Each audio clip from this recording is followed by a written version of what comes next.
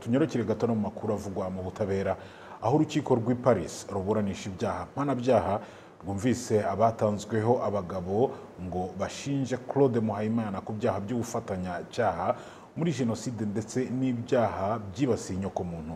Uyu Muhayimana Claude akekwaho gutwara amamodoka mu modoka abajyaga mu bitero mu misozi ya Bisesero Karongi na Gitwa. Ho mu yahoze ari komini Gitesi ni mu karere ka Karongi kuri ubu. Abamaze kumvwa hifashishijwe ikoranabuhanga kuko bari i Kigali. Uwitwa Harerimana Christophe wakoranye na Muhayimana Claude muri projet peshe ku Kibuye akaba yagaragaje ko yarashwe ukuboko kw'imoso kugacika bikozwe n'abari kumwe na Muhayimana bamuza ngo kuba yarahishaga abatutsi abandi akabambutsa muri Zaire.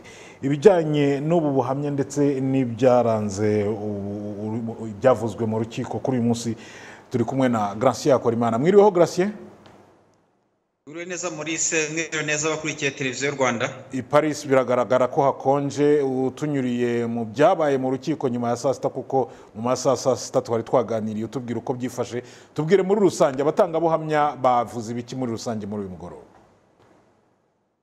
Usibye uwo nguwo wari uvuze hari abandi batangabuhamya batavuze undi wakurikiyeho wakurikiyeho witwa Imana wamaze kuvugaho ni uwitwa Nkurunziza Jean Marie Vianney. Nkurunziza Jean Marie Vianney rero we akaba yarabaye mwarimu wa Muhayimana Claude akaba yagaragaje uburyo yamubonye atwaye imodoka zigiye zitwaye abantu bagiye kwica cyangwa guhorahoza abantu bari biciwe i Nyamishaba ku ishuri ryigishaga ibijyanye n'amashyamba.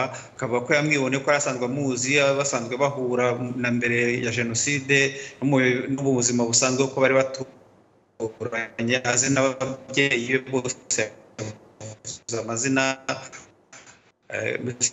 Agaragara bavuze no muri kano kanya hari abandi harimo hari uwa nyuma yarimo akivuga avuga uburyo yagiye yumva muhayimana mu bitero bitandukanye we ataramubonye. Ariko iyo nkuru nziza we yavuze ko yamuvuze mu byiciro bibiri avuga ko igice cya mbere we yaramwiboneye igice cya kabiri noneho ni byo yumvise mu makuru yatanzweho yatanzwe kuri muhayimana mu nkiko gacaca hakusanywa amakuru ndetse we bavuga ko banamuyoboranisha bamutangaho amakuru ku bijyanye n'uruhare rwe mu bitero byagaragaye muri iyo misozi harimo ya gitwa harimo karongi harimo bisesero.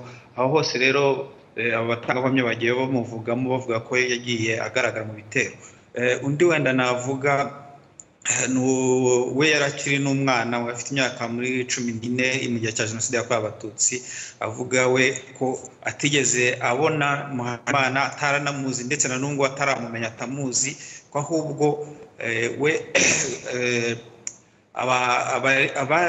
abagize ishyirahamwe ryitwa cpsr ari bo bamwishakiye bakamushaka kugira ngo aze gutanga ubuhamya ndetse anaregera indishyi kuko bumvaga umuntu uregwa ari we claude mpayimana yaravuzwe mu bitero byishe bamwe mu bavandimwe be ndetse harimo ababyeyi be abavandimwe be ndetse n'umuryango we wose uko nguwo wavugaga witwa gisanura mu kanya nsize ari warimo avuga anasubiza ibibazo by'urukiko n'impande ziburana muri uru rubanza.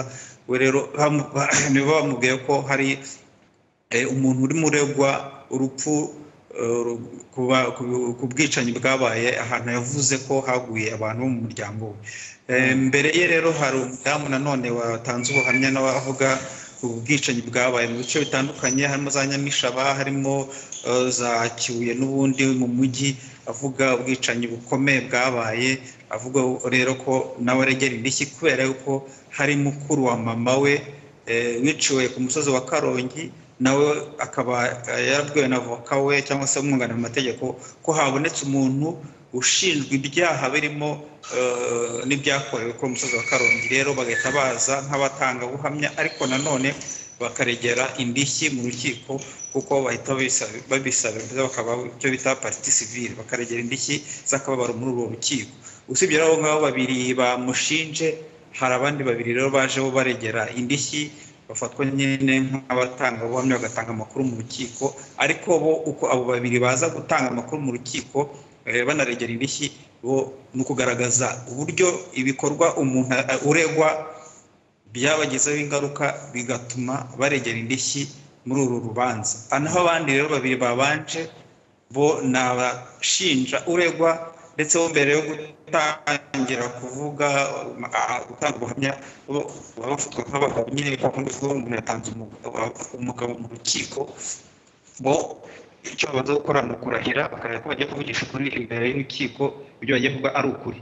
Hanyuma abo bandi bo rero ntabwo barahira kuko baba baje nk'abaregera indishyi z'akababaro numva ni- niryo tandukano umuntu yagaragaza. Ariko mu byo bavuga n'ubundi bavugamo amakuru ajyanye n'ubuhamya bwabo mu gihe cya jenoside kugira ngo bagaragaze impamvu koko izo ndishyi z'akababaro eh, bazikwiriye. Ah, bose rero icyo bahuriraho ni uko uyu muhayimana abataramubonye bamwumvise mu bitero bitandukanye muri iyo misozi navuze haruguru Maurice. Urakoze cyane Gratien. Ku munsi w'ejo twitega iki mu- rukiko?